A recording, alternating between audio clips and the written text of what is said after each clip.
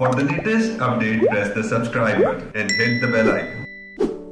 अस्सलाम मेरा नाम डॉक्टर फ़रा उस्मान है आज मैं बच्चों के हवाले से इस लॉकडाउन के दौरान जो प्रॉब्लम्स फेस कर रहे हैं हम एज अ मदर्स उसके बारे में चंद एक बातें करना चाहूँगी मुझे खुद भी एज अ मदर और एज अ डॉक्टर जो बाकी मदर्स के तरफ़ से क्वेश्चन आ रहे हैं, उसके मतलब चंद ज़रूरी बातें हैं जो मैं आपसे शेयर करना चाहती हूँ। उसमें सबसे पहले तो ये है कि बच्चे घर में आजकल बहुत बोर होते हैं तो उसके लिए क्या किया जाए?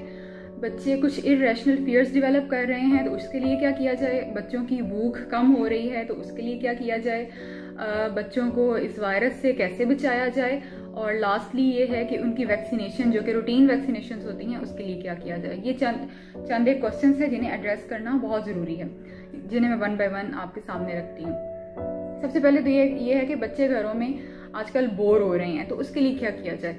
ऑब्वियसली uh, बच्चों की पहले बहुत सारी एक्टिविटी एक्टिविटीज़ थी वो स्कूल जाते थे उसके बाद एक उनकी एक खास रूटीन पहले से सेट थी। uh, अब वो सब कुछ नहीं है। तो उसके लिए सबसे पहले तो आप बच्चों के साथ बैठें और उनकी एक रूटीन बनाएँ, उनके साथ मिलकर एक टाइम टेबल बनाएँ। उसमें सबसे जो ज़रूरी चीज़ है, वो ये है कि उनका स्लीप टाइम फिक्स्ड हो।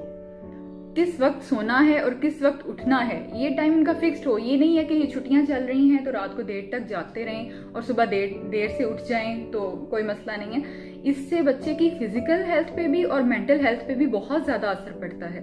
तो सबसे ज़रूरी बात, इसमें मैं बहुत ज़्यादा ज़ोर इसलिए दे रही हूँ कि बच्चे के लिए बहुत ज़रूरी है। कि बच्चे की स्लीप का टाइम जो है वो फिक्स्ड हो। इसके अलावा ये है कि बच्चे आजकल क्योंकि घरों में हैं तो वो ये डिमांड करते हैं कि हमें या तो मोबाइल चाहिए या हमने टीवी देखना है या कंप्यूटर्स तो स्क्रीन टाइम बच्चों का बहुत ज़्यादा हो गया है। तो स्क्रीन टाइम आप बच्चों को अगर देना चाहते हैं तो उसे थोड़ा प्रोडक्टिव बनाएँ। मतलब अगर आपके बच्चे इस एज में हैं कि वो आ, कुछ ऐसी ऐसे सॉफ्टवेयर्स पे काम कर सकते हैं जैसे कि पेंट कंप्यूटर में पेंट कर सकते हैं, या फिर अगर वो नौ दस साल के करीब हैं तो वो वर्ड एक्सेल या इस तरह की छोटी छोटी चीज़ें जो कि उनकी एज अप्रोप्रिएट ठीक हों तो वो आप उन्हें सिखा सकते हैं। मतलब अगर उन्हें आपने स्क्रीन टाइम देना ही है तो उसे आप उनके लिए प्रोडक्टिव बनाएँ। बोर्ड गेम्स खेलें इसके अलावा ट्रेयर हंट जो कि घरों के अंदर आप डिज़ाइन कर सकते हैं, और उनके ये मेंटल डेवलपमेंट के लिए भी बहुत ज़रूरी है, और बहुत अच्छा साबित होता है, वो कर सकते हैं आप। इसके अलावा बच्चों को अपने साथ काम पर लगाएँ। मतलब अगर आप कुकिंग कर रही हैं तो बच्चों से आप जो वो काम कर सकते हैं, उन्हें कहें कि वो आपकी हेल्प करें। उन्हें अपना रूम रीअरेंज करने के लिए कहें ऑब्वियसली सुपरवाइज करें उन्हें, लेकिन घर की ऐसी छोटी छोटी एक्टिविटीज़ जो कि उनकी एज अप्रोप्रिएट ठीक हैं, उसमें उन्हें इन्वॉल्व करें। उन्हें मैथमेटिकल स्किल्स अब सिखा सकती हैं कुरानी आयात याद करवा सकती हैं और उन्हें स्पीच स्किल्स उनके इम्प्रूव कर सकती हैं। मतलब अब इसे एक अपॉर्चुनिटी के तौर पे भी ले सकती हैं कि अगर आप सब लॉकडाउन में हैं, आप बाहर नहीं जा सकते तो आप इस पे अपने बच्चे की पर्सनैलिटी डेवलपमेंट के लिए बहुत सारा काम कर सकती हैं। दूसरी बात यह है कि दूसरा क्वेश्चन ये था कि बच्चों में कुछ इरेशनल फियर्स डेवलप हो रहे हैं। उसके लिए सबसे ज़रूरी बात यह है कि बच्चों की जिस तरह से आप में खुद एंगजाइटी डेवलप होती है, उसी तरह से बच्चों में भी एंजाइटी डेवलप होती है। तो इस चीज़ को सबसे पहले आप खुद अंडरस्टैंड करें कि बच्चों में एंजाइटी डेवलप हो रही है।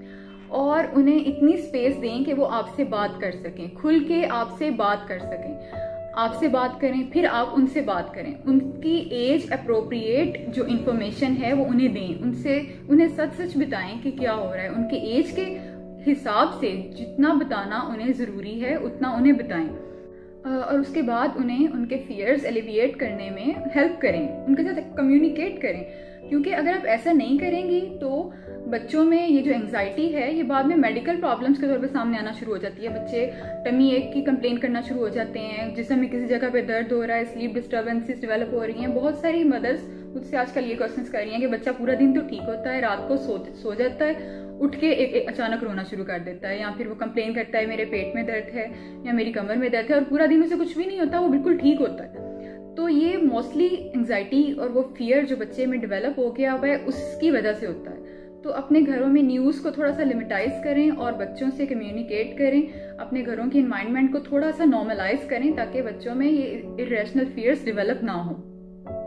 नेक्स्ट क्वेश्चन ये है कि बच्चों की एपिटाइट रिड्यूस हो रही है। तो ये एक बिल्कुल नेचुरल चीज़ है क्योंकि बच्चे स्कूल नहीं जा रहे उनकी एक्टिविटीज़ बहुत कम हो गई हैं वो पूरा दिन घरों में होते हैं तो उनकी एपिटाइट ऑब्वियसली रिड्यूस होगी ही।